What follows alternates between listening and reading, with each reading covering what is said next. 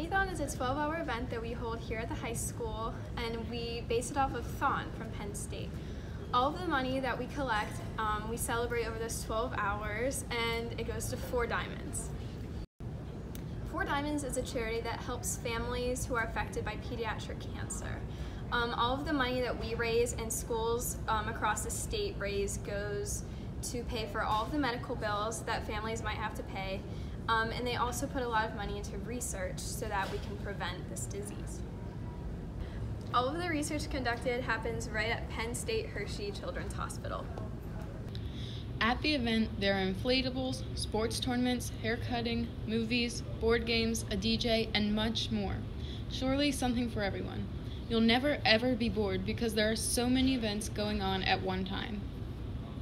I am super excited for Minithon this year because I love inflatables and watching people fall on inflatables. And I also am very excited to see how much we raise as a school um, and see everyone get really excited at our grand total at the end. I'm excited to hang out with my friends and have fun in Minithon. I'm excited to see Hector play in the teacher band. We're so excited to raise money for such an amazing cause. I think it's a really wonderful cause, and it's so awesome to see everyone in the high school working together towards that. I'm most excited for the escape room. Uh, I'm really excited to spend time with my friends and raise money for a really good cause. Uh, I want to eat breakfast first, so hopefully juniors win Color Wars. Get ready for Minithon, March 15th and 16th. This year, we're giving the entire student body the opportunity to get involved with our Minithon committees. I'm going to turn it over to Ava and Reagan to tell you more about them.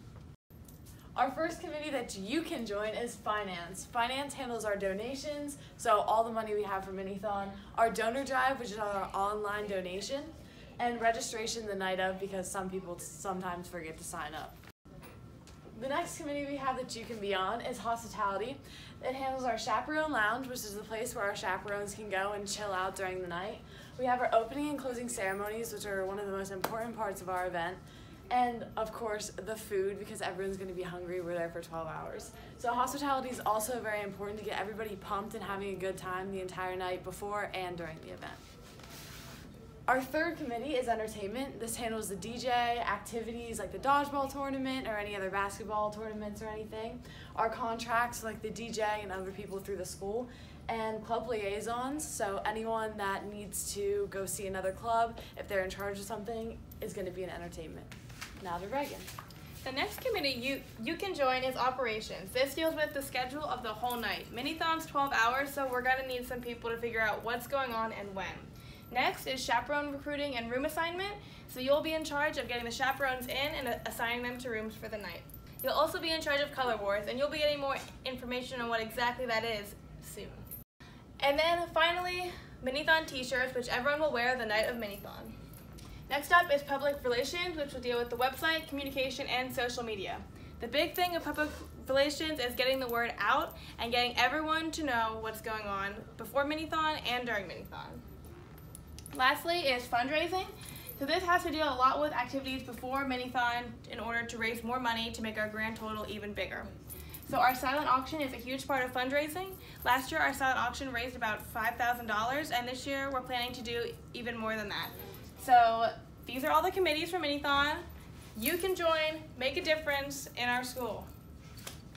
If you want to get more involved with the fight against childhood cancer, please come to our informational meeting Wednesday, September 26th during ARC lunch in the large group room. There will be a flex time made to sign up.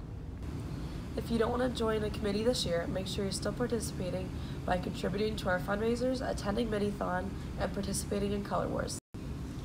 The color options for Color Wars this year are red, purple, black, yellow, and green.